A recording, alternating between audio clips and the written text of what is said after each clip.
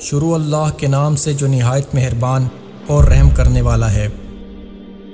मेरे भाइयों दुनिया का नाकाम तरीन इंसान वो है जो अल्लाह को पहचाने बगैर मर गया। या पहचाना तो सही और उसकी मान न सका।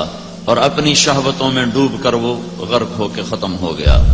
और दुनिया का कामयाब, खुशकस्मत इंसान, मर्द, औरत वो है, जिसने अल्लाह को पहचाना, फिर उसको माना, फिर उसके सामने झुक गया, उसके सामने सर झुका दिया, और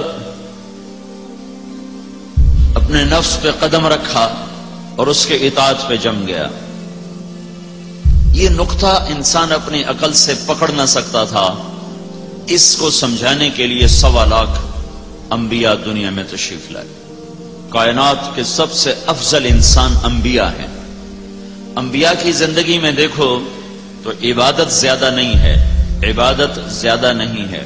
हमारा नबी सारी दुनिया के सरदार, जिन्नो इंस के सरदार, नबियों के भी सरदार, सारे नबियों के नबी, सारी ज़िंदगी आपकी तहजद ग्यारह रकात नफल है, ग्यारह रकात।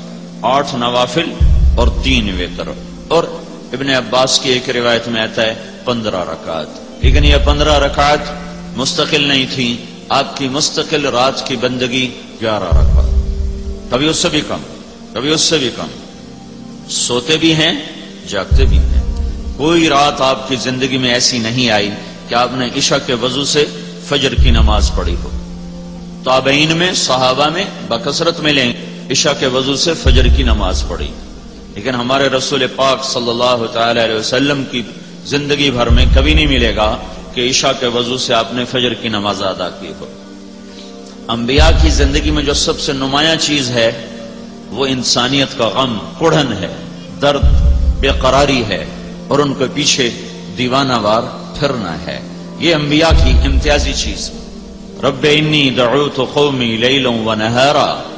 अंबिया की बंदगी, इबादत, अंबिया का ज़िक्र, अंबिया की तस्वीर अंबिया की तिलावत क्या है? रब इन्नी तो कौमी लैलों व नहारा।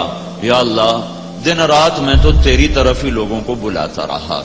ये अंबिया का सबसे आली शान अमल और वजीफा है। इस वजह से वो सारी कायनात के अफजल तरीन, एक नबूत खुद एक उनको ऊँचा बनाने वाली चीज़ है। फिर नबूत में जो सबसे आली अमल है, वो दावत है। कि वो बैठते नहीं, लोगों के पीछे फिरते। आखिर में आप लोगों से गुजारिश है कि अगर आपको हमारी ये कोशिश पसंद आई हो तो इसे ज़्यादा से ज़्यादा सदका जारिया के तौर पर शेयर करें। अल्लाह आप सबको अपनी हिफ्स अमान में रखे। आमीन।